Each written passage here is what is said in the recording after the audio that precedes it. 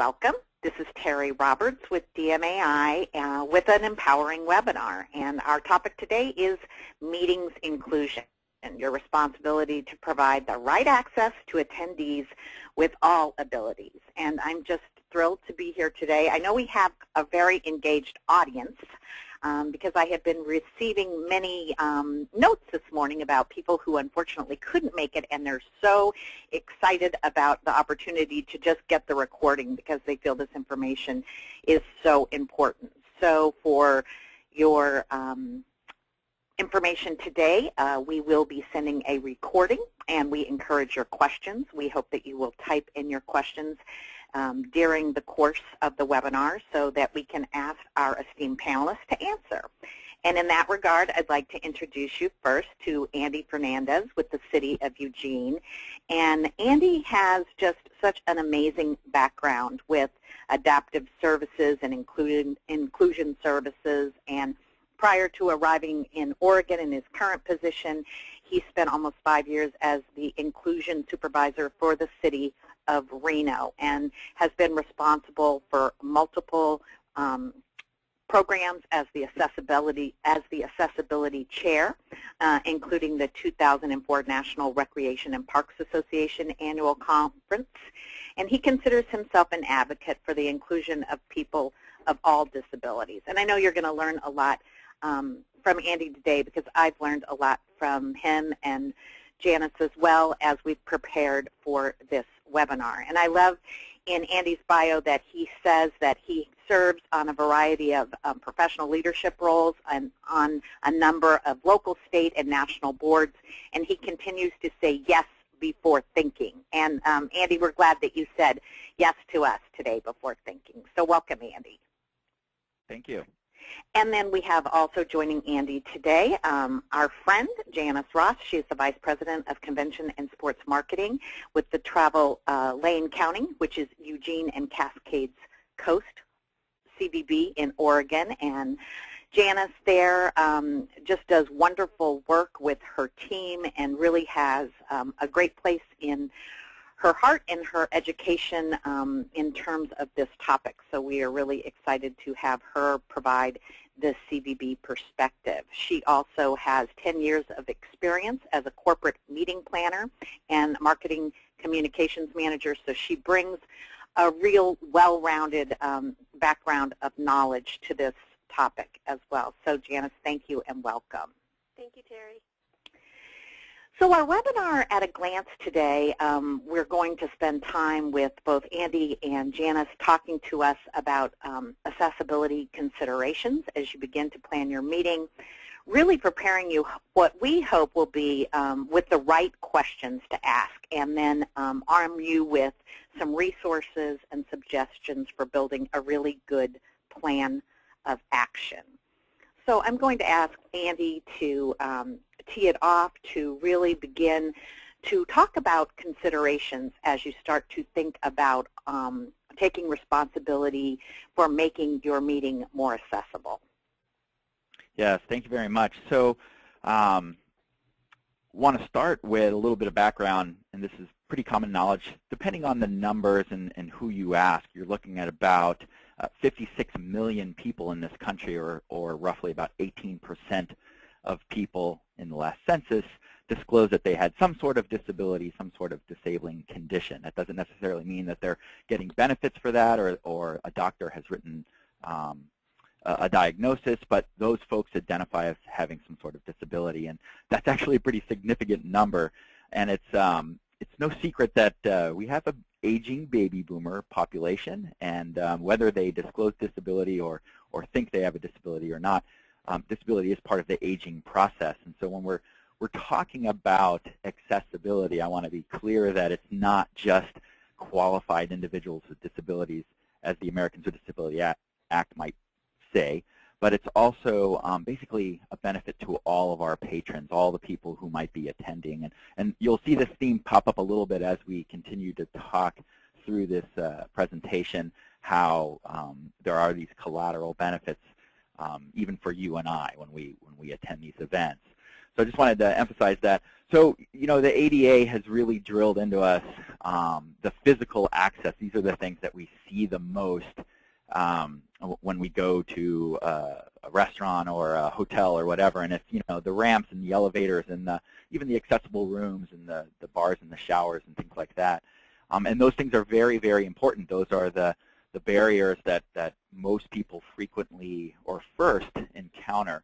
Um, but they're not the only barriers that we're looking at when we're, we're talking about accessibility. And we're also looking at access to um, the materials, access to the presentations, access to the events, and sometimes those things are not so physical in nature. And so um, I've had to retrain my brain as I've learned more about accessibility to think it's not just about those physical barriers. Disability isn't just the person in the wheelchair. It's actually a broad spectrum of ability that uh, we encounter in most of the things that we're doing. Um, so the Americans with Disabilities Act was passed in 1990, and, and we're still you know, working on what that means. Um, it uh, um, had some great guidelines about um, removing barriers, and that's, that's you're sort of looking at, at a checklist here, and, and that was the one of the very first guidelines that came out here was ba basically barrier removal. Um, so when you're considering your destinations, you want to build in um, thinking about accessibility from the get-go, and you can't start too soon. I think if, there, if you get nothing else from this presentation, start thinking about who am I going to ask, how I'm going to ask about this question as I start investigating um, planning a meeting or planning a destination or planning an event. So um, it, it's also uh, need to note and stress that it is our responsibility as meeting planners and event organizers to ask these questions. So the, the ADA, without going into a long background, is, is broken into these different uh, categories, Title I, Title II, Title III. Title is employment. We're not going to talk about that. Title II is public accommodations, and these are the things that we see where I work in a city or a municipality. Title III are, are um, uh, sorry, government accommodations. Title III is sort of these public accommodations. Uh, that's my phone. That's so funny because I don't know where it is. Um, public accommodations are are um, things or events that the public would um, have access to uh, as, as a general person in the community. So it's not a government access. This is a different standard. And it is our responsibility as meeting planners to make sure that those things are accessible. One thing I, I need to stress, though, is that we shouldn't assume just because the ADA has been around for as long as it has that everything is perfect. And so, again, asking early, asking soon about accessibility, about the plans, about the designs, about the features, um, will actually uh, help you with a lot of headaches as you go through. Um, and we're talking not just about the, uh, the place or the convention center or the exhibit halls, but we're also talking about uh, the hotels, the restaurants, um, any of the experience that your attendees will be having in, in the meeting. You, you want to have as much foresight about sort of what the access is as possible so that you can actually share that with your attendees and, and, and help them navigate uh, what the issues might be. Um, Andy, I will. The last uh, thing I, I just want to, I don't want to interrupt you, but I did want to let uh, everyone know that we will be providing um, a link to the ADA checklist and, and the specific yes. requirements of Title III. So uh, it, as you said, it is a, really has a lot of detail. So we'll we'll make sure that everyone has access Perfect. to that. Yeah, because that is a that is a wonderful uh, checklist. It helps calibrate your brain and get you thinking about all the different things from the minute I park to when I get into the event, all the different barriers that, that you could be looking at. The last thing I want to say just before we go to the next slide is that um, the ADA is designed so that if you are making an effort, a lot of people ask me, well, if I uncover these things, if I uncover problems, doesn't that make me vulnerable to, to a lawsuit? Am I now responsible? Actually, the ADA is designed that if you make a good faith effort to, to navigate those problems and, and identify them and help solve them, you're actually in a better spot than sticking your head in the sand and, and saying, well, if I don't know about the problem, then it doesn't exist. So I, I want to say, again, asking the question helps you in a lot of different facets. And I'm sure that Janice will hop in here and say who is going to ask and who is I'm going to ask who's going to answer those questions. Exactly, exactly. Well, I think that's where your your CVB really comes into play because we know our destination so well. And and as a meeting planner uh, looking to hold your conference in a, in a new destination that you may not be familiar with, there are lots of local resources and and uh, thing, issues to navigate and questions to ask that, that you know just seem overwhelming. I know sometimes, and that's where I think the whole accessibility issue gets gets meeting planners in a in a quandary. So, um, and obviously the accessibility issue, as Andy mentioned, doesn't isn't confined to the hotel or the conference space. So really considering the overall accessibility of the destination at large. And your CVB can answer questions like that. So uh, you know, from the moment they set foot in the airport or drive in, in, their, in their vehicle, um, their entire experience, every touch point really needs to be seen through that filter of accessibility and making sure everyone has that positive, great experience.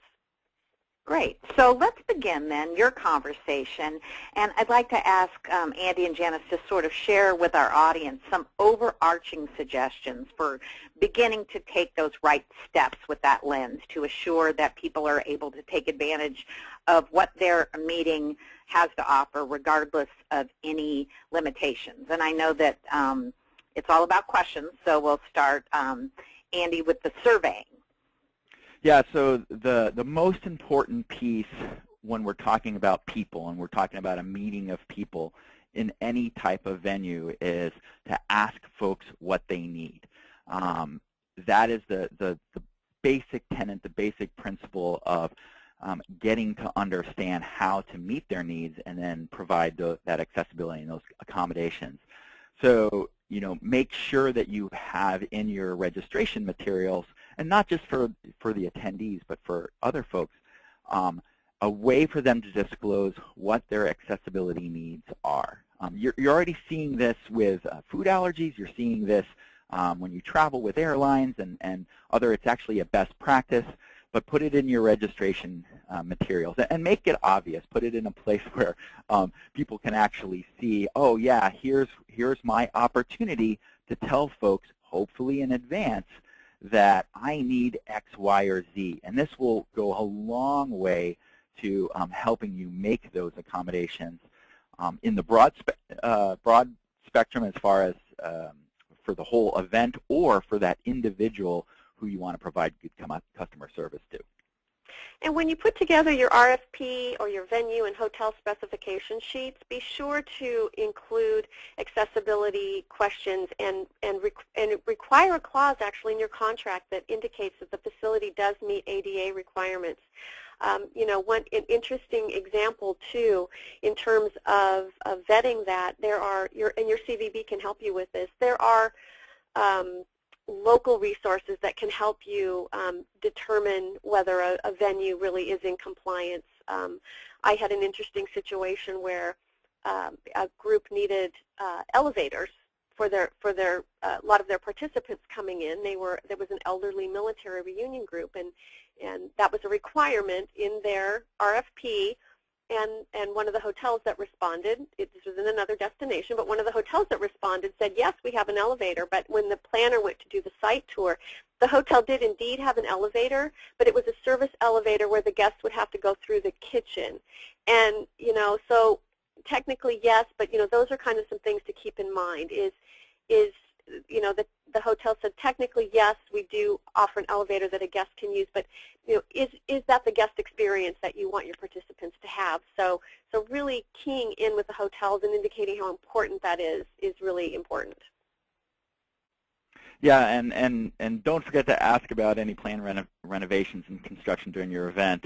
Um, I've had numerous times where, oh my gosh, you have the, the most wonderful uh, intention, with accessibility in a hotel, um, but for some reason that there's a construction going on. And uh, in, in, my profession, we're, we're sort of an off-season uh, conference goer because we're not really um, deep pockets. So, so we tend to get the, the time where there is a lot of construction and something's going on. And yeah, the hotel was totally accessible, but the sidewalks leading to the hotel were all barricaded off. Or um, the, uh, you know, that they were working on the rooms or the floor that had the accessible room. So just, you know, good question to ask when you're, when you're setting it up.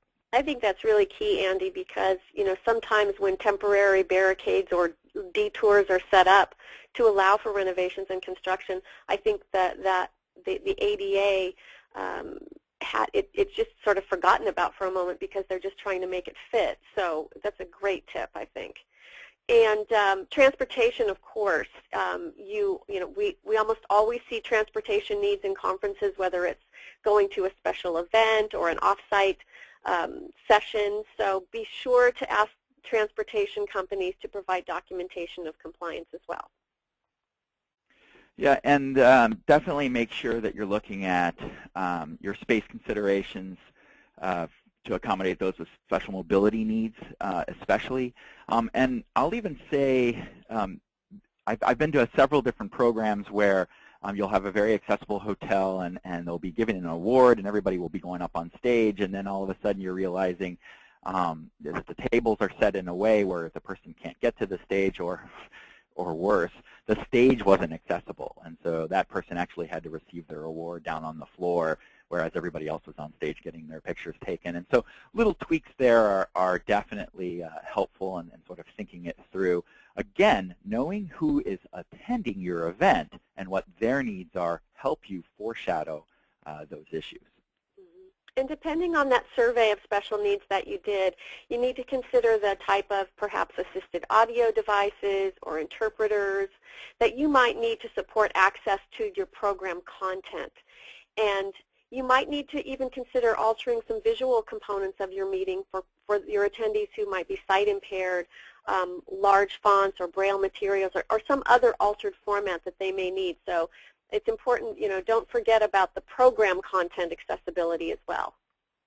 And, and Janice, the, the beautiful part about that is that because of digital technology now, a lot of that is a lot easier than it was, say, even four or five years ago. So to print something in large print um, is very simple now, whereas, or, or Braille is not even actually requested as much as alternative formats. Something in a digital format can even be um, read over a screen reader. So you might have someone say, I don't need the large print. I just need that document onto my computer or my tablet so that it can voice over to me. And that's easy to do if you know in advance. So great suggestion. Yep. Perfect suggestion. So now that's kind of an overarching or a large glance at considerations, but I know that you both have some very specific areas um, drilling down to a little bit more detail that you thought were important to share with our audience. Yeah, so um, down to more detail. So speakers, presenters, and special guests. This is one that we tend to overlook, uh, especially if you're you're comping your your presenters or your speakers, or you know they don't have to go through the registration process, so they might miss the opportunity to disclose what kind of needs they have. Um, I've been on both ends of this, where I've been the organizer or the attendee with a colleague of mine with a disability, and and we have forgotten either you know how we're going to get that person from the hotel to the venue, or um, if the stage was accessible, or if there were uh, interpreters or whatever. So make sure you're asking um, for those particular situations. The other story I'd like to share about this is the special guest piece um, really resonates and re has resonated with us in the past. We had an event here where we went to great lengths um, to make it accessible. It was our Olympic trials in 2008 and we were talking about well, the what ifs, you know, who might attend, and it ended up that um, one of our state uh, dignitaries ended up coming up to our event, and uh, he used a scooter because of a disability, and um, we were very happy that we made the VIP and the back areas of our event accessible when we were doing the planning because he was one of those people. He wasn't just someone in, uh, you know, the stadium or or the front end of the event. And so it was one of those, wow, good planning, saved the day, got this guy where he needed to go, um, was very helpful. Um, the other really big important piece of this is you can do this by committee. Um, it works sometimes, it sometimes doesn't. It's really nice to have someone who's accountable and responsible for um, uh, getting this done. And they don't have to be an accessibility expert. Um, they might end up being one of you listening and, and who um, basically has the, the foresight or the wherewithal to know who to call, know who to reach out to to help um, uh, make an event accessible. And so having someone responsible um, to provide oversight or accountability is really helpful in, in most events. Um, it's not a, an ADA requirement, but it is definitely a best practice. Um, training staff and volunteers. Uh, this sometimes is uh, daunting, especially if you have a lot of volunteers.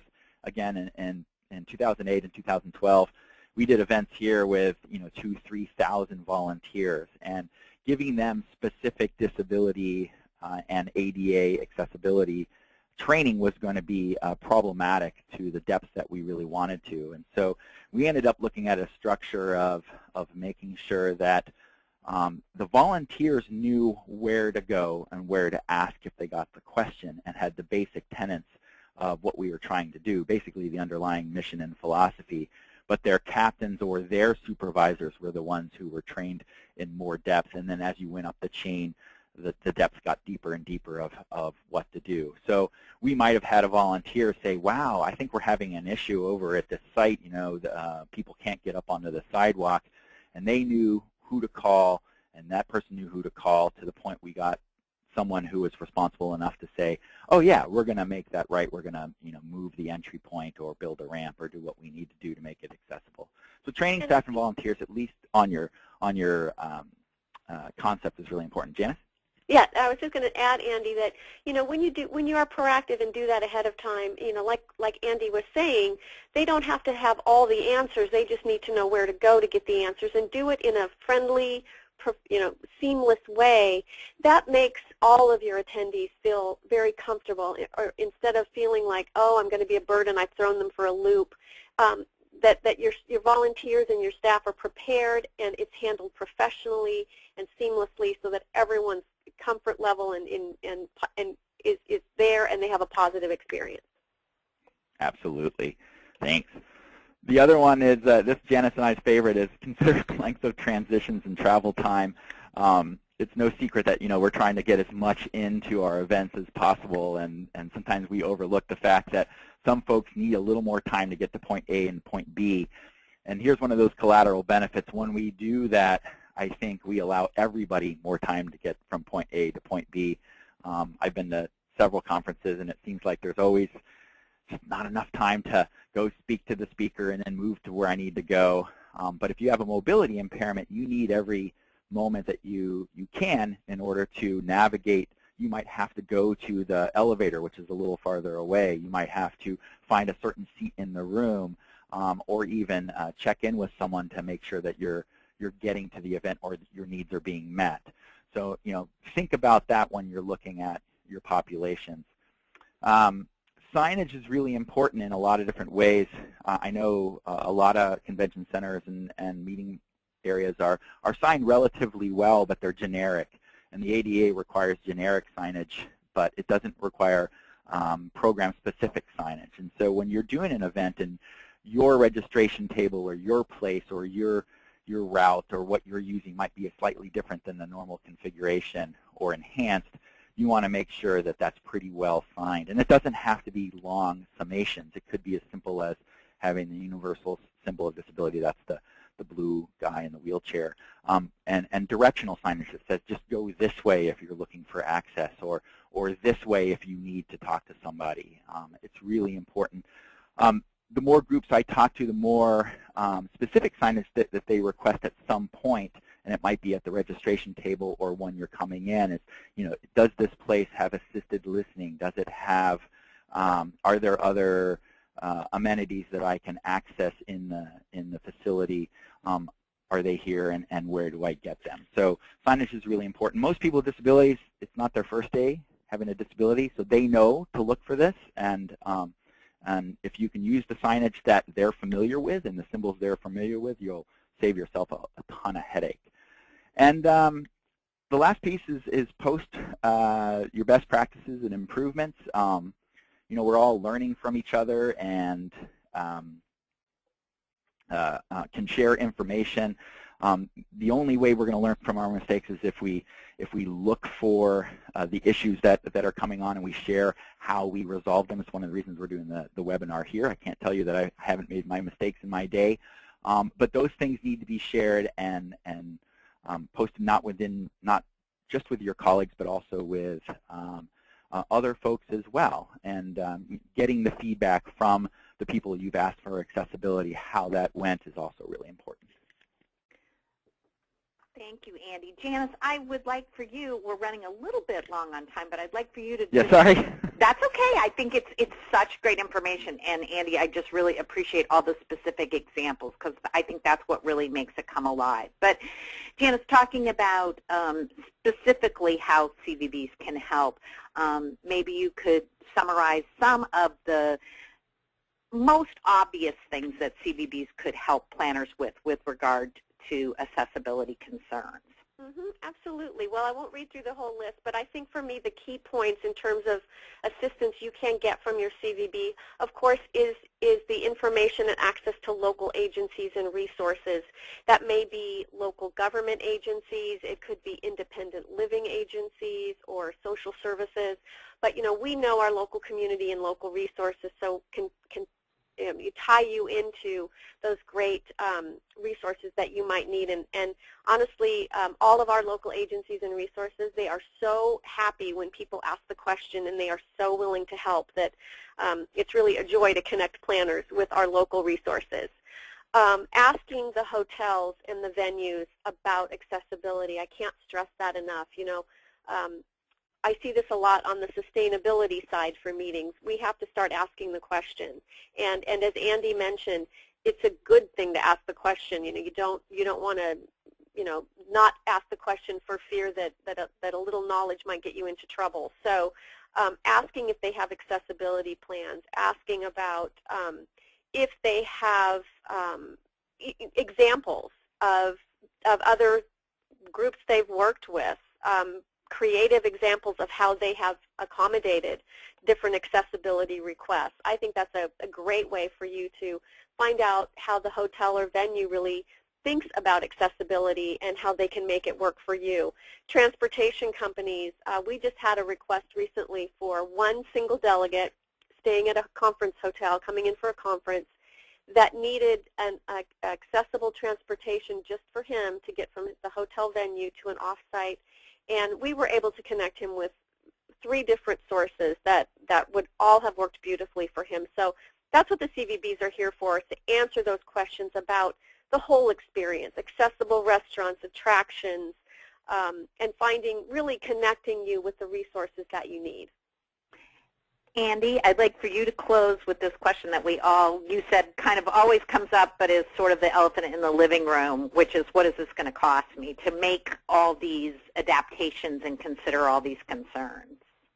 Yeah, you know, the, the answer, is this going to cost me more, is sometimes yes and sometimes no. Um, you know, I think the, the data out there is when you look at the majority of accommodations people provide for disability, um, most of them are actually pretty affordable. And, and knowledge is power, so actually providing the knowledge and allowing your conference attendees um, foresight in how they're going to navigate and attend your event is really the most important piece, and that, that doesn't really even cost you anything as long as you're forthright.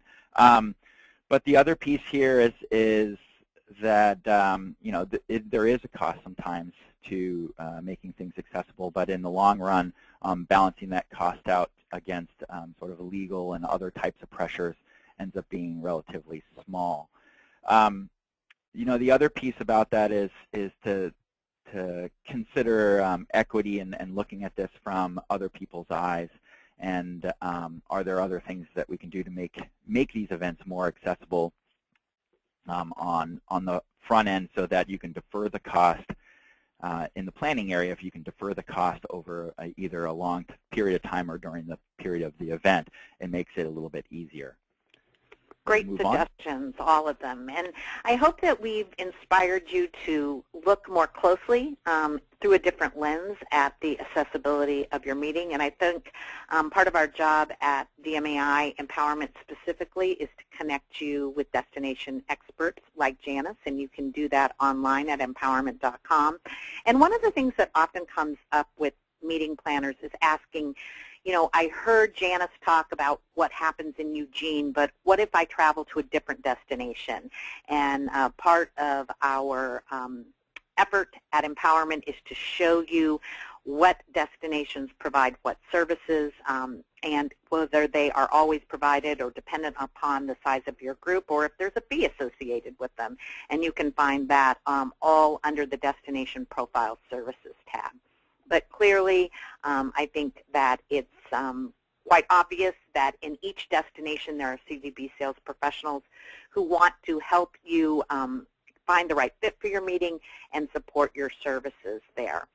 Just a, a, quick note about CMP credit because I know everyone will be looking for that. You'll receive an email um, next week and in that will be a recording of the webinar, the link to the ADA uh, specifics that we've talked about, and uh, a certificate for your 30 minutes of um, site management credits. So that will be headed your way um, during the business week next week. And I would like to thank everyone and um, thank our sponsor, ePro. We're going to take some questions from the audience, but before we do, I would like to ask uh, Chauncey Keller uh, with ePro to just speak for a moment, if she would, about how they can support you with meeting apps. Oh man, this was a great webinar. Just coming from um, someone who has someone who's disabled in my family, um, this was really, really good information. So thank you guys so much for your thorough knowledge. That was awesome. Um, ePro Direct, we are a full digital hospitality marketing company and event app organizer. Um, I, I, don't want to take a ton of time because I know we're really tight on it, but just so that you guys know that there is definitely um, an option out there for an app um, for your event, starting as low as $1,000, a custom do-it-yourself app, um, and then it can go on up for um, one event or one association that has an app and uses the same um, app for several different events. Um, on the hotel side, we're a full digital marketing agency that helps support uh, ePro Direct and ePro Meeting apps. So um, we have recently developed a questionnaire of something if you are going to do an app, whether it's a hotel or a um, an association or a corporation for your event, um, some questions to, to ask your app provider. Um, this will help you um, get kind of the basics covered and is able for you to compare um, vendor to vendor when it comes to um, event apps. So I will be sending that out to you if you have not received it before. within the next week, uh, you'll be receiving that email from me. And just know if we can assist you in your apps for your meetings, we are here to help. Chauncey, thank you, and again, always for supporting us with our webinars. So Shimo, you've been monitoring the question board, and I know we have allowed time um, beyond the half hour for some questions, and so any burning ones that may be directed to either Andy or Janice. Thank you, Terry. We've had some really great questions come up, um, and thank you for the opportunity to present them. Um, you know, it seems like as planners, they're always they're always getting surprised, right? So I think it was really good best practice about um, surveying or requesting special needs. But um, what what do we do when they just sort of show up and um, they haven't identified themselves before? How do we really find ways to accommodate that, and is it our responsibility to do so? Well, yeah, that's a great question, and and um, you know, good customer service dictates that yes, we want to accommodate our attendees and our patrons. So um, we want to accommodate them. So we'll make our best effort to do so. If you've asked and, and allowed folks the ability to disclose uh, accessibility, and and it's a good practice to put in there. You need X amount of time to do that. So you might have a registration form that says um, you know, what do you need to participate fully in this event, and um, you know, accessibility or accommodations, and someone might say, um, uh, yeah, I need a sign language interpreter. It's, it's within your right to put in there that you need, you know, seven business days or 10 business days or, or, or whatever you think it is to, to set that particular request up and, and meet that request. So if it's within that window, my best practice usually is to try to still honor the request, but I can't guarantee it to the patron. And so, um, again, the ADA is going to give you points for good faith effort and, and making uh, um, the best attempt to accommodate. Um, but they're not, you're not going to get sued if you've asked ahead of time and someone just shows up and, and, and demands and says you have to do it. Um, you know, the other piece of this is, is a lot of the things allowing the participants as much control over um, how they're going to navigate things as possible. Um, we did a frequently asked questions here when we did our event um, where we foreshadowed some of some of the requests and things. And, and most of the requests weren't for an actual item or service. They were just like, how do I do this or how do I do that? And so we posted those frequently asked questions. We weren't required to do so, but it was really helpful to sort of limit that last minute request because the last minute requests are usually people who just are new and they just don't know how to navigate the system. Janice, do you have input on that?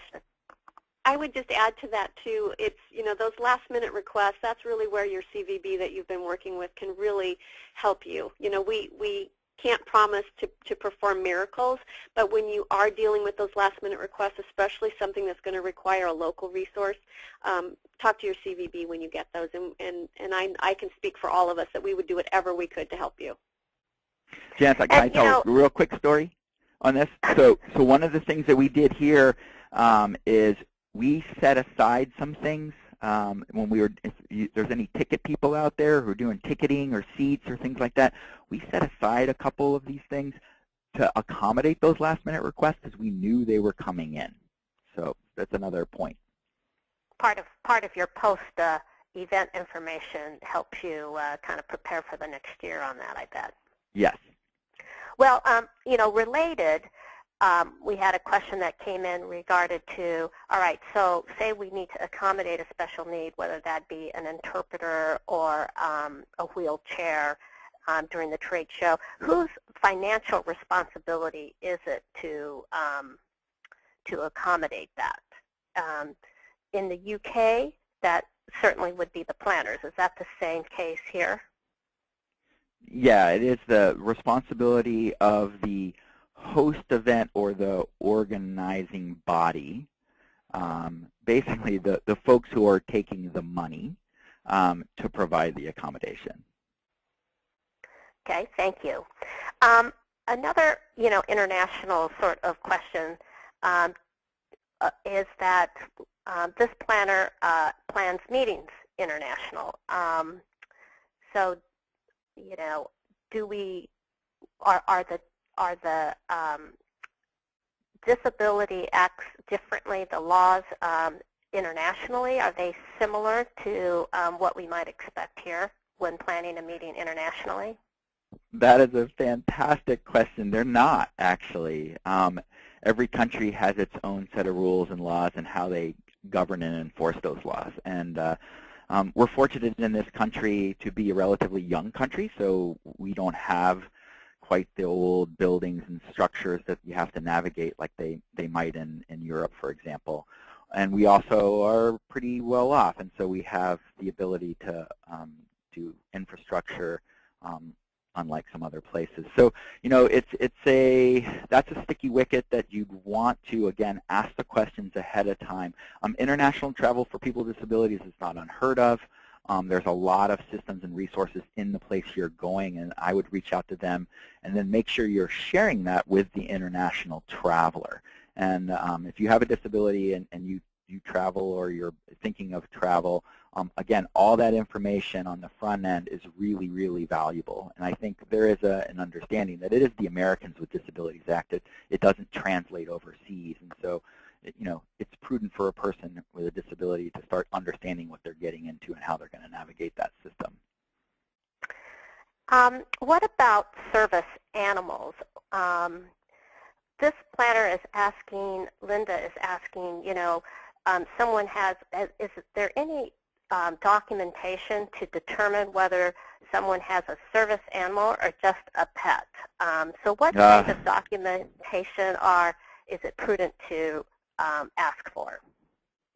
So I'm going to tell you right now, I'm not a lawyer, so definitely this is a great ADA technical assistance question. Every state has a technical assistance uh, hotline or, or business assistant hotline um, that you can ask these specific questions. I don't want to defer the question. This is, this is one of the most popular questions I hear all the time. And my understanding, because the rule just changed in 2010, was or is that um, there, you, service animals do not require a documentation or a jacket or a note from the doctor. It is not required to be a service animal.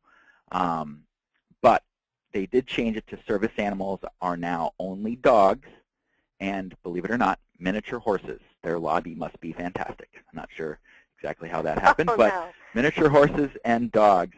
Um, so the service snake or the service parrot or the, the service monkey, and I've, I've seen them all, um, does not really qualify under the ADA as a service animal. There is a distinction between therapy animals, comfort animals, um, and the ADA uh, disability technical assistance folks are trying to wrestle with that, and they actually just released a white paper on this on uh, the Department of Justice website, I believe, um, that tries to further clarify. There's really only one or two questions you can ask someone, and it comes down to the task that that animal performs um, that helps that person with their disability. You can't ask them their disability, what their disability is, but you can ask what task that animal is trained to perform that helps them with their disability. My best practice is, you know, to um, uh, um, to ask the question um, to make sure that we're actually asking the question fairly of everybody, but also to, um, um, you know, um, best customer service usually prevails. So if, it, if it's not disruptive to everybody else, I'm usually playing that safe side. But again, check with your, your local DibTech or Disability Business Technical Assistance Center. Good advice. Um, another question um, has to do with whether or not um, the accommodation that the host provided or the show producer provided is not reasonable. They had offered um, an accommodation for a person with a disability and then they did not want it. Um, can we make them responsible for the cost of something they had requested and now don't want? So are you, are you saying that someone re requested it, you signed them up, you hired that person, and then they declined? It could be that, and it also is, um, um, I think it's a two-part question. So first of all, they they were making an accommodation for a disability, and mm -hmm. um, is is what determines if it if this accommodation is not reasonable?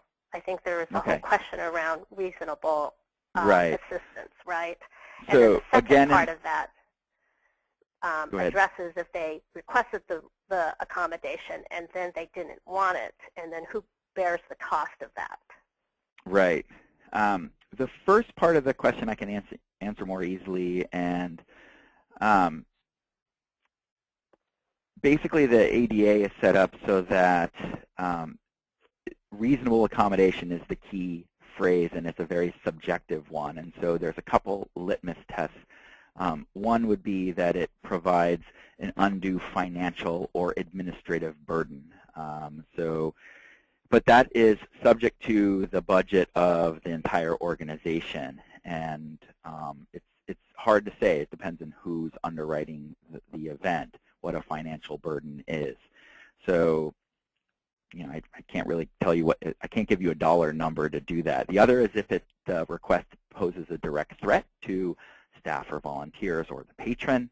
Um, and the third is that it fundamentally uh, changes the nature of the, the program or service. So, um, for example, uh, you're busing everybody someplace and, and um, you know, they want a plane or a helicopter. That's probably undue financial burden and also um, fundamentally different than what the experience you're providing all the rest of the patrons. Um, that says, uh, that said, you know, you're looking at looking at requests of that nature on a case-by-case -case basis. And so um, making sure that you're able to to um, provide a, a, reasonable accommodation uh, means it depends on, on the disability, unfortunately. So there isn't a, a magic checklist that you can do for that. Um, I sometimes check with my disability business technical assistance folks or, or ADA info folks to see what's reasonable and not. Um, the other piece is going to best practices. But most conference goers uh, will make requests depending on um, their needs to really attend the conference. It might be unreasonable to say, um, you know, I want an interpreter because I'm going to go sightseeing around town. So that's you're looking at sort of parallel experience to other attendees uh, uh, for the for the part that, that you're responsible for. So, you know, the conference uh, sessions, um, off-site sessions, uh, um, exhibitions, things like that. Um, the second piece is if uh, who bears the cost. Um, that's a really tricky one because it depends on, on what it is and when the cost comes in. And so most of the time, the, the conference operations um, ends up bearing some or most of the cost for an accommodation. Um, it's really hard to uh, have a patron pay for the accommodation um, because it's not really their responsibility for attending an event.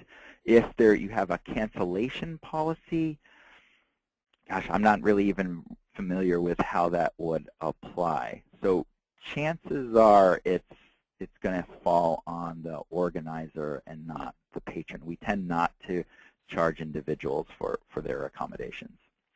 Okay, and just one last question here, um, which might be a little bit more technical and perhaps in the resources we'll be sending our uh, webinar attendees today.